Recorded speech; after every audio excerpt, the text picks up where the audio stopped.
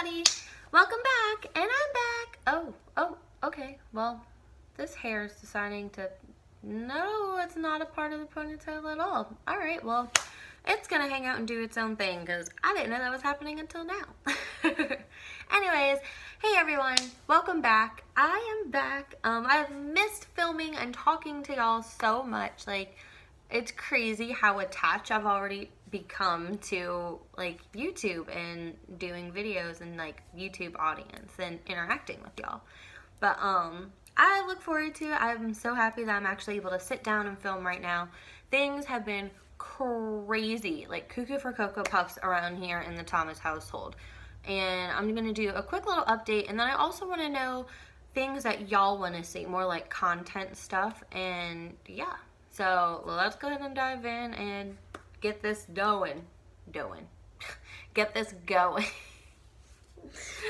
ah, this is my life right now. Like, what's happening? This is, yeah.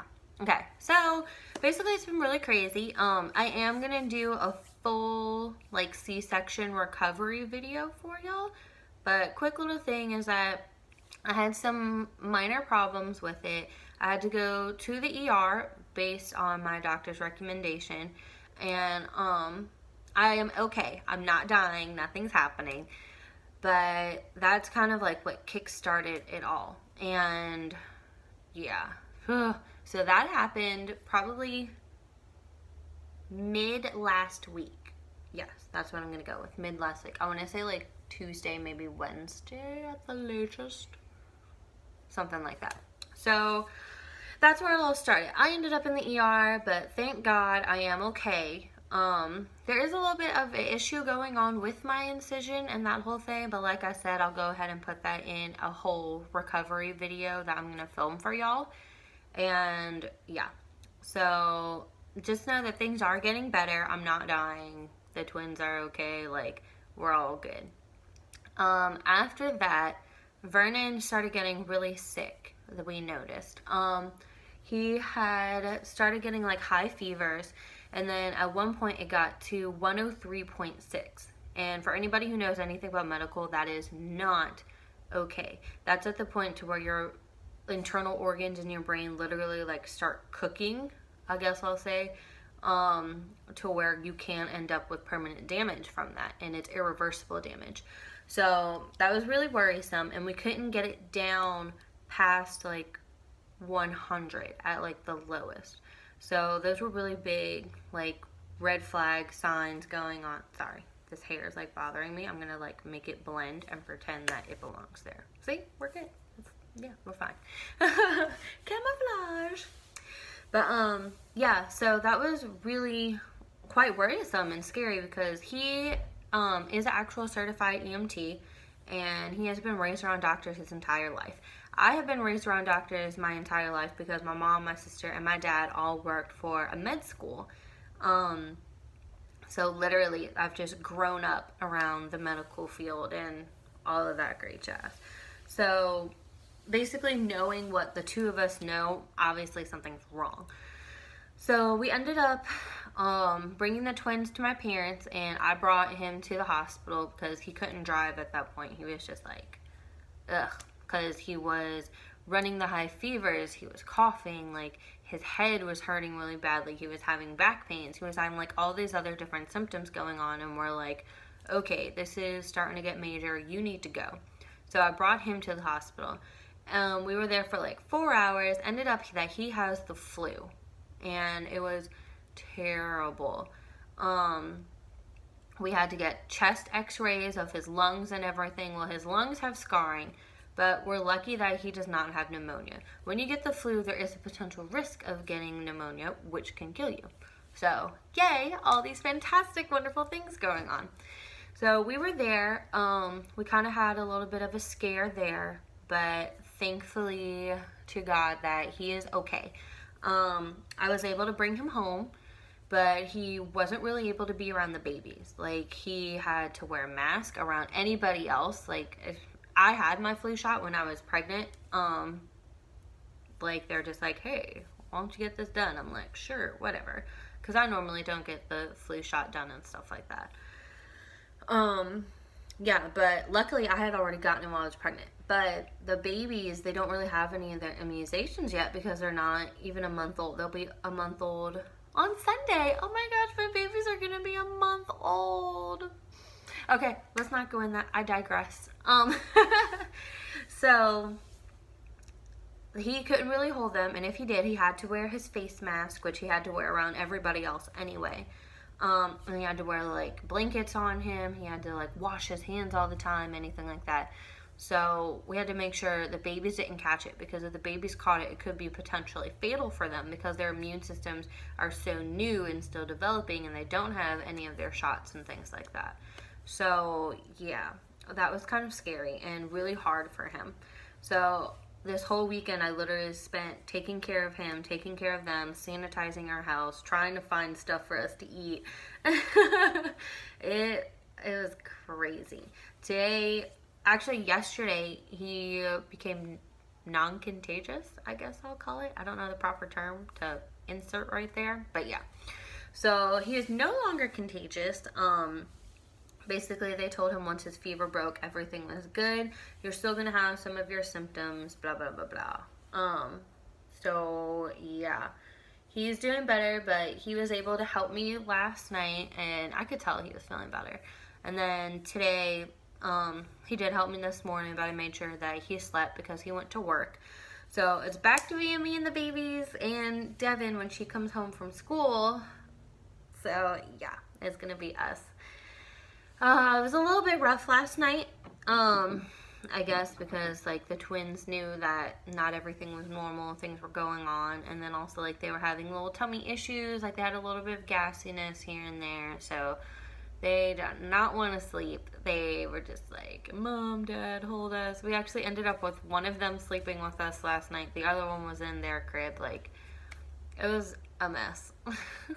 but thankfully, we got Vernon like his prescriptions, all of that kind of stuff. You can't actually like cure the flu from what they told us. It's a virus that you just have to let it run its course. But they did give him things to make it better, like Tylenol with codeine in it. Oh, excuse me. And then we also got him um a inhaler and all of that to help with like the coughing and his breathing and the pain that he was feeling in his lungs, all of that kind of stuff. So he's doing better. He is um he's in the healing process. He's not completely out of the woods of it yet, but he's doing okay. So between me going to the ER, like him going to the ER, the twins having like a rough weekend, and then also Devin had a fever of 101.6 like randomly out of nowhere and I'm like, dude, those are babies. Hold on. Okay, so I'm back. That's the thing about having little ones is at any moment they can cry and do stuff. um, what was I saying? Oh yeah, so I was like, what the hell is going on with our household? But yeah, so it's been a little crazy because I've been trying to keep our house clean. I've been trying to cook, like, have food for us to eat, just dealing with the babies and then Devin with school, like, it hasn't been terrible, but there are, are good times, and there are definitely times that are a little bit more stressful. Um, oh, goodness. But yeah, so, other part of this video besides, like, sorry, that was itchy. Ooh, look at my face. I'm, like, glowy and stuff.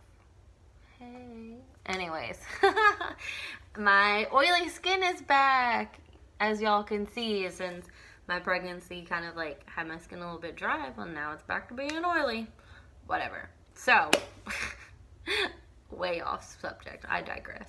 I want to talk to y'all about like content and stuff. I know that there are definitely some videos that have been requested and they are on my list of things to do. I have not forgotten about you. I promise you, like, pinky promise, I haven't forgotten about you. Um, they are coming up. It is just a little bit harder for me to find times to film because literally while the boys are sleeping, I have choices and I have to prioritize everything. I can either eat, I can either pump, I can either clean, I can sleep, I can film. Like I always have to like figure out what is the most important thing that I have to do right now and then I'll do that while they're sleeping and then put the rest kind of in order and if I get to it. So um, it is a little bit more difficult. Um, the process with this is that there are two babies, so things take twice as long to do. Like for some people that have a singleton pregnancy, like feed their baby, change their baby, spend some time with him or her, put them to sleep, and then they can do whatever until that baby wakes up again. I don't have that luxury.